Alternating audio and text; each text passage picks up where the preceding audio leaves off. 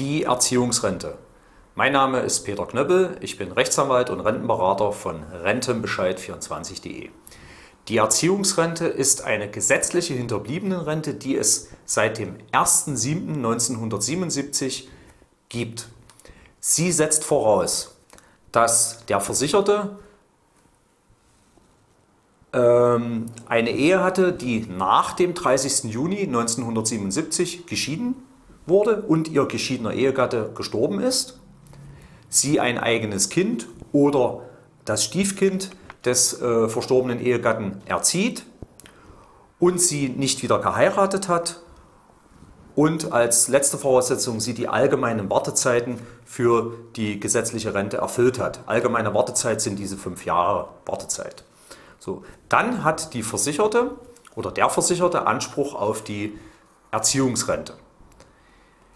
Die äh, Erziehungsrente selbst wird berechnet aus eigenen Rentenansprüchen im Gegensatz zu einer Witwenrente, die äh, diese berechnet wird aus den Ansprüchen des verstorbenen Versicherten. Bei Fragen zum Thema Erziehungsrente nutzen Sie unser Beratungsangebot.